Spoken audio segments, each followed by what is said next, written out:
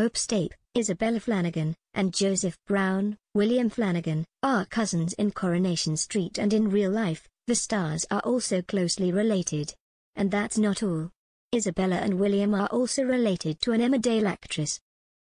This week, focus has been on Joseph, who is acutely aware Dad Chesney, Sam Aston, has money problems and can't afford to buy him a new school jumper.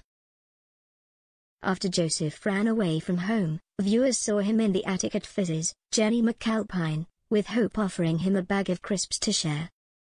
In 2020, when all soaps were getting used to filming with two-meter restrictions in place, Isabella and William were able to film a scene closer together. Are Hope and Joseph related in real life? Isabella and William are twins, Isabella and William have both played their characters since 2017 and are regularly seen filming together. On Wednesday, Isabella and William's dad, Chris, tweeted a behind-the-scenes picture of them both. He wrote, Happy birthday to these little legends, 11 years old today. Been a busy week but we will celebrate tonight. Which Emmerdale star is related to Isabella and William?